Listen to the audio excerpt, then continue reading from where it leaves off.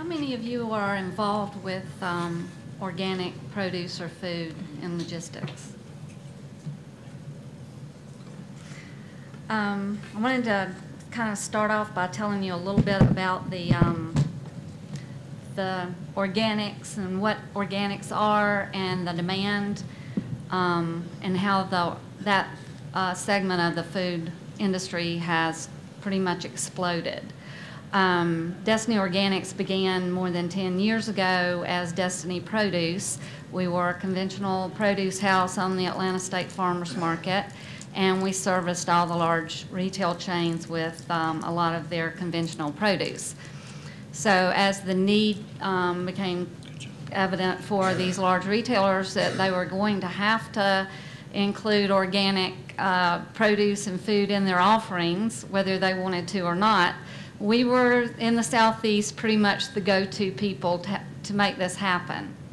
Um, we got our organic certification. Um, what organic certification means for a distributor is that we have to abide by a lot of rules that are also in third-party audits as far as food safety, bioterrorism, um, any of those, any of those um, issues have to be, they're also included in organic certification, as well as 100% traceability. Um, uh, our building has, is inspected once a year for um, our organic renewal.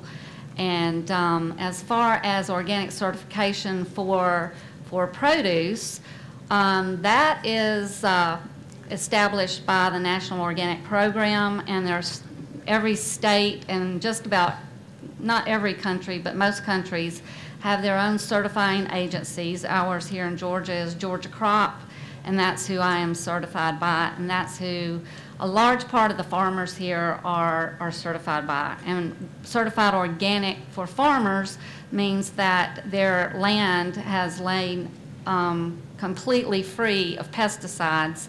Usually takes a farmer three years to go from using pesticides to um, Georgia Crop or a certifying agency to declare that their land is now free of pesticides. So in moving past, moving forward from conventional to organic, that was back in 2004. Um, the organic movement has made great strides since 1990.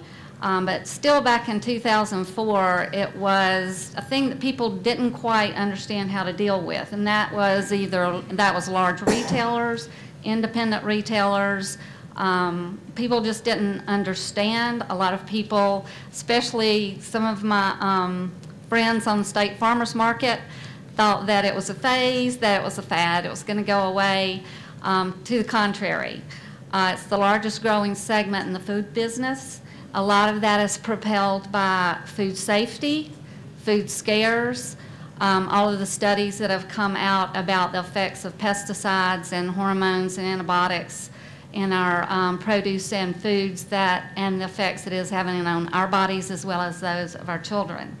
So um, with that, when the economy um, was taking a serious downturn, um, it was a little scary to be um, Destiny Organics and with people's mindset that, oh my gosh, that is way more expensive. We can't eat, we can't do that.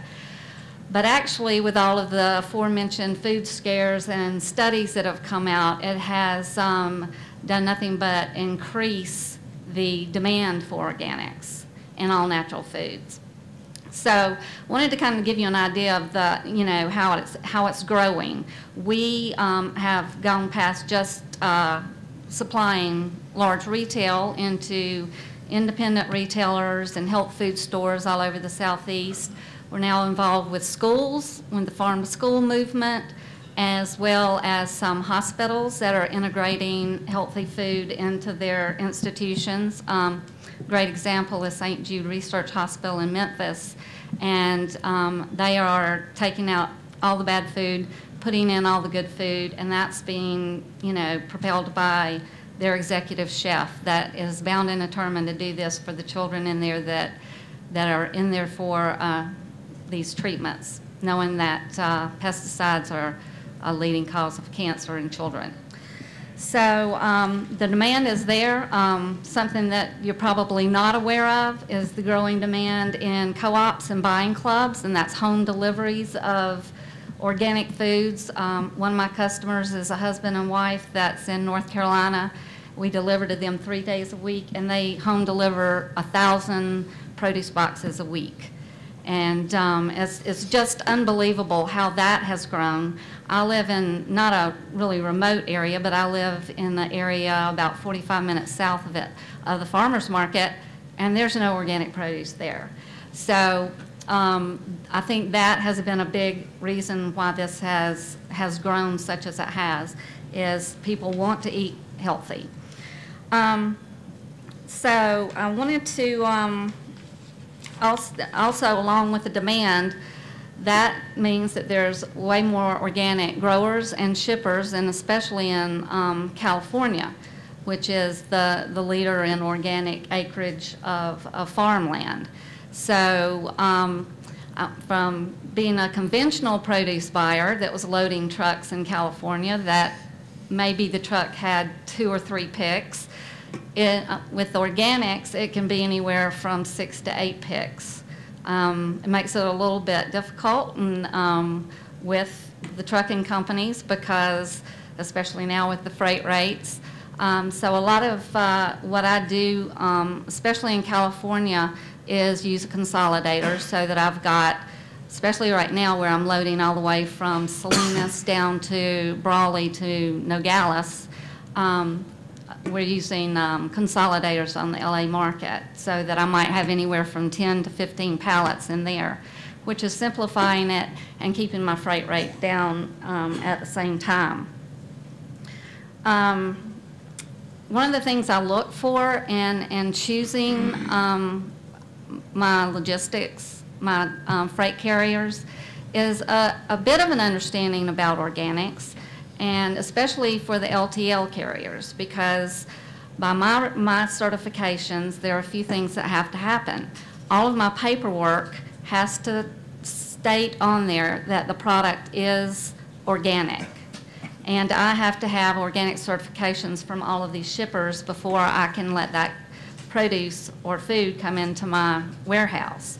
Um, another thing is that um, I ask the drivers, the freight carriers to make sure that not only the paperwork is correct, but also that the labeling on the boxes and the product itself is also organic. And this is kind of a tough thing because I'm having to go through a dispatcher that is in turn, you know, needs to know about my company and about my requirements. If I've got an LT, you know, if I'm doing an LTL, they have to know that they can't put a half pallet of conventional produce on top of my half pallet of organic produce in order to get it to me. That I can't do that in my warehouse and I can't do that on a truck. So they have to have a little bit of knowledge about, about organics and about uh, segregation and about, you know, all of the items that I'm bound by by my certification, which is um, paperwork and labeling. Um, The biggest, uh, probably the biggest problem or challenge I have. And, and um, as, a, as a small distributor here in the southeast, is being actively involved in the farm to table movement. And, and I spend a lot of my time going out and talking at conferences, farmer conferences, and encouraging farmers to transition from using pesticides to at least all natural and preferably organic. And you know, talking to them about the, the demand and that the demand is out, uh, exceeding the supply right now. Um, but that brings on new challenges for, for local um, logis- logistics companies because these are small farms, um, small, medium, and large farms actually, all over the southeast, even here in Georgia, that make uh, transportation um, very challenging. Um, Some of these uh, farmers are ill-prepared to actually warehouse, and it has to be um, pretty much timed um, pickups. I do a lot of backhauling with my trucks, but uh, the, the Southeast is very much in need of, of trucking companies that are willing to go above and beyond and also to, to do a lot of LTL freight um, because there's, there's really not a whole lot of organics. There's, there's a few times that I'm loading straight loads here in the southeast, but more often than not, it's LTLs. And it is a little bit trickier, of course, and um, a little bit challenging down here in the southeast dealing with our farmers. However, um, the, the demand is definitely there, and, and it keeps, and it keeps growing. There's more and more farmers here in the southeast that are transitioning. And um, again, I'll repeat that the, um, the biggest challenge that I have right now is transportation here in the southeast. And um, that's the, that's probably the biggest obstacle and the biggest missing piece from farm to table is, uh, is freight carriers that are willing to, to go that extra mile, and especially here in the southeast, to um, get the product to my dock to, for me to get it out to people's tables.